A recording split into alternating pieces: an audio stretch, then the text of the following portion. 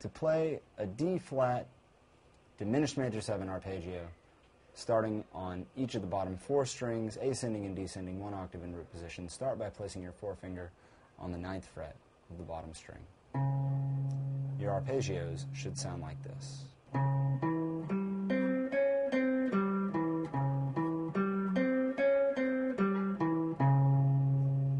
Moving back to the fourth fret of the fifth string.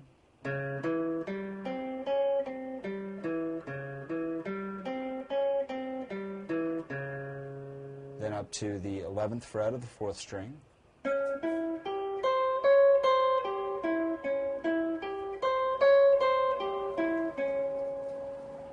And finally back to the sixth fret of the third string.